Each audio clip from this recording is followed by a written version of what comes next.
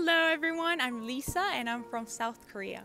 And this session was diversity and inclusion. Uh, we did it with Peter, and it was absolutely amazing because in this during the session we were able to talk about um, what diversity and inclusion really means. And at the end of the day, scouting is for all. And throughout our discussion with all the different um, participants from different countries, we really were able to feel the um, inclusion and uh, diversity. Thank you, Peter.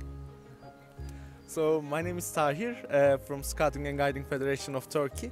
This session for was an amazing experience for me because uh, we discussed what diversity and inclusion uh, really means and we exchanged ideas and it was really beneficial for me and I think we have to work towards uh, making scouting available for anyone and everyone and thanks Peter for the session also Nicola. Nicola also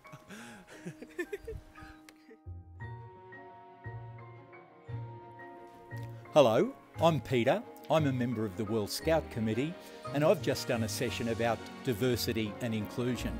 We had 40 leaders from different national scout organisations and we did three things.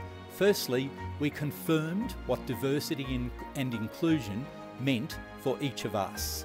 We then looked at the definitions that have been developed for the use at the world level and we shared those in our small groups.